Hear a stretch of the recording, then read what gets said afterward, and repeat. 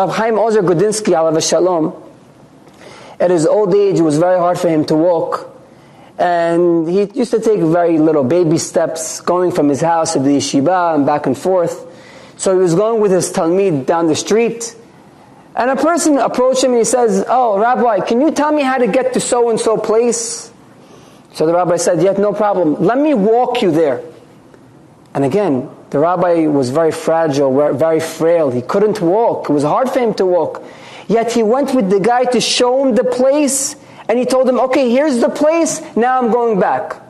So the Talmid that was with the rabbi told the rabbi, Rabbi, what are you doing? You're old. You're frail, you're fragile, you're walking with a stick, with a walking stick, with a cane. Why? Just tell the guy, make a left, make a right, go straight, that's your place. Why'd you have to walk with him all the way there? So the rabbi said, You didn't realize that he stuttered? You did not realize that this man stuttered? What would happen if I told him, make a right, make a left, and go? He would obviously get lost, because it's very, you tell a guy, make a right, make a left, and he forgets it two seconds later. So what would he do? He would go and ask somebody else, uh, uh, uh, how do you get to that place? And every single time he has to stutter, he has to be embarrassed.